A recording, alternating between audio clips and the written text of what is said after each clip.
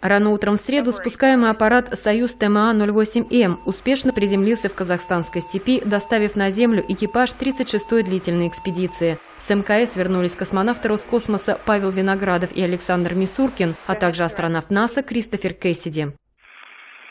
Посадку обеспечивали три самолета, 12 вертолетов, 6 поисково-эвакуационных машин и 14 единиц вспомогательной техники. Все операции прошли в штатном режиме. Космонавты провели на орбите 167 дней, пребывая там с конца марта. Для Виноградова это был третий полет, для Кэссиди второй и для Мисуркина первый. Как отметил командир Виноградов, атмосфера в коллективе, цитата, «была замечательной, очень дружественной и теплой», конец цитаты. Виноградова считают ветераном Роскосмоса. Он самый возрастной космонавт за всю историю российской и советской космонавтики. В общей сложности он провел на орбите около полутора лет. В марте на борту МКС он отметил свое 60-летие.